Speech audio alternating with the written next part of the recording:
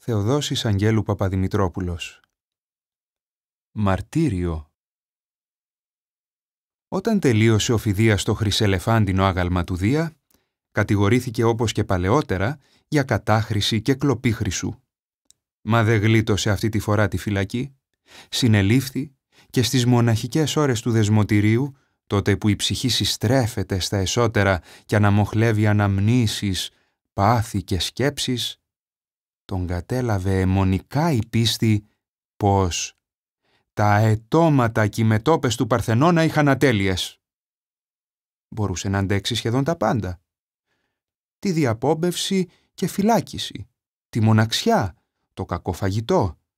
Αλλά πώς να χωνέψει ότι τα έργα του, το μόνο διαβατήριο για την αιωνιότητα, εμφάνιζαν κακοτεχνίες. Όλα κι όλα. Με αυτά δεν παίζει ένας μάστορας. Μα και τι να κάνει. Αδύνατο να ξεκινήσει για την Αθήνα να στήσει καλοσιές και να τα διορθώσει. Ήταν καταδικασμένος να σαπίσει στο μπουντρούμι. Μέρες και μήνες συλλογιζόταν την κατάσταση, ώσπου μια φέγγαρη νυχτιά άρχισε να οικετεύει την Αθηνά. Θεά γαλανομάτα της σοφίας, πολέμαρχε της σκέψης, την οικεσία μου άκου. Αν και έκλεψα χρυσό, ακόμα αρκετός στολίζει το θείο άγαλμά σου. Κι άλλος δεν τόστισα από αυτόν που σου μιλά, τον ταπεινό νικέτη. Κόρια υπάρθενε, για χάρη δικιά σου και γαλήνη δικιά μου, άσε με να αποτελειώσω το μέγιστο ναό σου, ώστε να δοξάζεται πλάι στην ομορφιά και τη σοφία σου και το δικό μου το όνομα. Τίποτα δεν μ' απόμεινε, μονάχα μία φήμη η θεά τον λυπήθηκε από τα δώματα του Ολύμπου και εμφανίστηκε μπροστά του. «Φιδία, σ' άκουσα. Το αίτημά σου δίκαιο, όπως όμως και η τιμωρία σου για πλούτο που κλεψες χρυσάφι εις βάρος του βασιλιά πατέρα μου. Τη φήμη θα την έχεις, μα με ένα τίμημα βαρύ. Κάθε νύχτα, σαν πεθάνεις, θα έρχεσαι πίσω από τον Άδη για να στείνεις φάσμα αντίγραφο, γλυπτά καινούρια και να τα σμιλεύεις ως ότου τέλεια γίνουν δίχως κακοτεχνίες.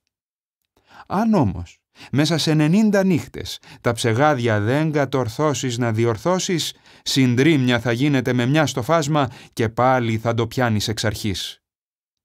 «Ας γίνει έτσι», απάντησε ο Φιδίας, βέβαιος πως με την τέχνη και την πείρα του θα τελειοποιήσει τα ετώματα και τις μετόπες.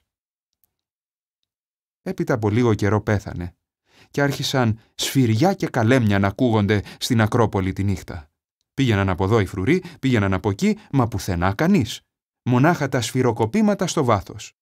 Και δεν σταματούσαν, γιατί ο πεθαμένος γλύπτης, παρά την προσπάθεια, συνεχώς έβλεπε τα αντίγραφο να σοριάζεται κάτω χίλια κομμάτια, αφότου είχαν παρέλθει 90 νύχτες εργασίας. Η φήμη του βεβαίως γινόταν όλο και μεγαλύτερη. Το μάθανε ως τον Ινδό, σαν έφτασε εκεί ο Μέγας Αλέξανδρος. Τον λάτρεψαν οι Ρωμαίοι, τον τιμούσαν οι Χριστιανοί κατόπιν, που συνέχιζαν στις ολονυχτίες να ακούνε τα χτυπήματα όταν πια ο Παρθενώνας είχε μετατραπεί σε εκκλησία του Κυρίου. Τον σπούδασε η δύση της αναγέννησης. Ώσπου κάπου στις αρχές του 19ου αιώνα οι ήχοι άρχισαν να υποχωρούν σε ένταση και τελικά έπαυσαν πάνω στο βράχο. Ο Τζον Σμιθ εργαζόταν ήδη δύο δεκαετίες στο Βρετανικό Μουσείο ως πρωινός φύλακας. Στα νιάτα του ήθελε να γίνει γλύπτης. Είχε ευαισθησία, ικανά χέρια και μάτι. Όμως τα πράγματα ήταν δύσκολα και έπρεπε να βγει στη βιοπάλη. Παράτησε λοιπόν τα καλλιτεχνικά του όνειρα και ρίχτηκε στον αγώνα. Ύστερα από πολλές δουλειές έγινε φύλακα στο μουσείο. Βρήκε επιτέλους την εσωτερική του γαλήνη. Καθημερινά θαύμαζε τα εκπληκτικά δημιουργήματα του παρελθόντος πάνω σε πέτρα και μάρμαρο. Τι προϊστορικά εκθέματα, τι αιγυπτιακά μνημεία. Αλλά το εντυπωσιακότερο για εκείνον ήταν ένας καθιστός Διόνυσος από το ανατολικό αέτομα του Παρθενώνα. Πάμπολα γλυπτά είχαν φτάσει από την Ακρόπολη των Αθηνών στην Αγγλία δύο αιώνες πριν και, εν τέλει, κατέληξαν στο μουσείο. Λόγω πρόσφατων ανακατατάξεων στο προσωπικό, αυτή θα ήταν η πρώτη του νυχτερινή βάρδια. Ένας συνάδελφος του μήνυσε πως αν ακούσει τίποτα χτύπουσα από την αίθουσα του Παρθενώνα να ξέρει ότι κάποια κατάρα κατατρέχει τα μάρμαρα. Δεν έδωσε σημασία. Ανοησίες που λένε οι φύλακες για να περνάνε την ώρα τους και να τρομάζει ο ένας τον άλλον σχεδόν σαδιστικά, σκέφτηκε. Έφτασε στην πύλη, έδωσε τα διαπιστευτήριά του και πιάσε δουλειά. Κάποια στιγμή, άμαθο στα νυχτέρια, τον πήρε ο ύπνος. Κάθος έβλεπες όνειρο να κάνει ηλιοθεραπεία σε νησί του Αιγαίου και να πίνει ταυτόχρονα φραπέ, του τον είχε μάθει η αδερφή του μετά το ταξίδι της στην Ελλάδα, τον είχε επίσης κατατοπίσει και για τα εδέσματα του τόπου, Greek μουζάκα, σουβλάκι, ακούει μια σφυριά. Πετάγεται. Μπα, μες στον ύπνο θα ήταν μότι μου πάνε οι παλαβοί. Κάνει να ξαναγύρει. Κι άλλη σφυριά. «What the hell» φωνάζει εξοργισμένος. Ακολουθεί τις ομοβροντίες και φτάνει στην αίθουσα των μαρμάρων. Το ταβάνι αντιβούιζε από τα χτυπήματα. Συνεχή, ρυθμικά και άοκνα. Σαν μουσική από κρουστά. Και καθένα τους γεννούσε εικόνες στο με καλλιτεχνική έφεση μυαλό του. Το μπράτσο ενός εφήπου, το χέρι ενός κεντάβρου στο λαιμό ενός λαπίθη. «Ο ήχος μιλεύει τον αέρα του χώρου», αναφώνησε από την έκπληξη. Τότε σωπαίνουν οι ήχοι και αντιλαλεί το μουσείο. «Φεύ!» Και θόρυβος εκοφαντικός, σαν να σοριάζονται ρήπια, τραντάζει την αίθουσα. «Who is there?» ρωτάει εμβρόντιτος ο Σμιθ. «Αθηνά, τιμωρέ, ακούει εμέ». «Answer me!» «Αληθώς, ακούει εμέ και τυθνητός» και έπειτα σάψογα αγγλικά που για τη διευκόλυνση του αναγνώστη στο εξής μεταφράζονται αυτόματα κατά την αφήγηση «Θνητέ, πώς με κατάλαβες, είσαι ομότεχνος και με νιώθεις» «Φανερώσου, σε ξαναρωτάω, πώς νοείς τη φωνή μου» «Μην κρύβεσαι» «Καλώς» Τυλίγει το Σμιθ μια εκτιφλωτική λάμψη και δίπλα σε κάθε μετόπι βλέπει κομμάτια από μαρμάρινα γλυπτά. Στην άκρη στέκεται ένα σχετικά κοντός άνδρας με καράφλα, φορώντας μανδύα και σανδάλια και κρατώντας στα εργόδη χέρια του σφυρί και καλέμι. «Χαίρε ξένε, είμαι ο Φιδίας». Κι εγώ ο Βοναπάρτης. Ορμάει να τον αρπάξει για να τον συλλάβει, αλλά περνάει από μέσα του και βρίσκεται με χτυπημένο το κεφάλι στον απέναντι τοίχο οι ζωντανοί δεν αγγίζουν τους νεκρούς. Δηλαδή, ω ναι.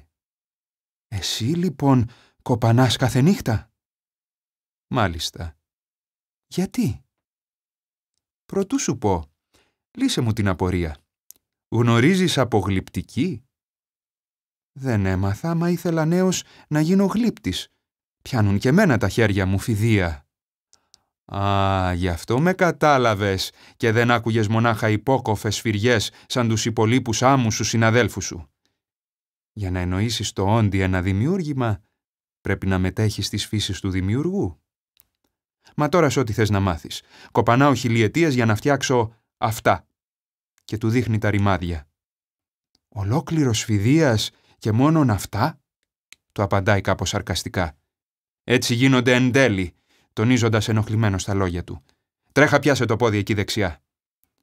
Δεν μπορώ, σαν να είναι από αέρα. Όπως και το σώμα μου. Κι όλος αυτός ο κόπος, ρημαγμένος, επειδή πίστεψα πως η τέχνη μου ξεπερνάει την πονηριά, τη σοφία, πες την όπως θες, της Αθηνάς. Βρήκε τον τρόπο η Θεά, δήθεν συμπονώντας με, να με βασανίζει σαν το γεροσύσυφο. Όταν στο κελί μου Κατάλαβα τις κακοτεχνίες στο ναό του Παρθενώνα και λέει «Δεν ξέρεις την ιστορία μου». «Χα! Στα αλήθεια η αθάνατη είναι δίκαιη. Ό,τι υπόσχονται γίνεται. Αλλά να τη βράσω τέτοια δικαιοσύνη Αθηνά». Είναι τέτοια πια η φήμη των έργων μου που έχει ξεχαστεί σχεδόν η ζωή μου. Είχα κλέψει το κάτι της μου σε χρυσάφι, κατασκευάζοντας το δικό της άγαλμα και του πατέρα της, για να ζήσω Έλληνας. Εν πάση περιπτώσει, Στη φυλακή διεπίστωσα προβλήματα στην εκτέλεση και οικέτευσα την Αθηνά να βρεθεί τρόπος επιδιόρθωσης, ώστε να μην με κακοχαρακτηρίσουν οι αιώνες. Τον βρήκε. Θα διαφυλάσει εκείνη τη φήμη μου και εγώ θα σκαλίζω αντίγραφα εθέρια όσο το ανακαλύψω και διορθώσω κάθε λεπτομέρεια. Με μια όμως υποσημείωση. Ο χρόνος για κάθε αντίγραφο είναι 90 μέρες. Έπειτα αυτό ανατινάσετε. Όμως όσο καλός και να είσαι στην τέχνη σου, είσαι θνητός. Μοίρα σου πάντα κάτι να ξεφεύγει. Κι ως τώρα, γύρω στα δέκα χιλιάδες αντίγραφα έχουν γίνει θρύψαλα. Δεν μου φτάνε κιόλας στο μαρτύριο, έπρεπε και να ξενιτευτώ για να έχω από κοντά το πρωτότυπο. Δυο αιώνες λαχτάρισα τον Αττικό ουρανό.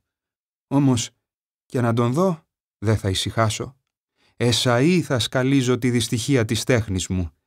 Κι οι τωρινοί Αθηναίοι θα ακούνε πλάι σόλα και το θόρυβό της.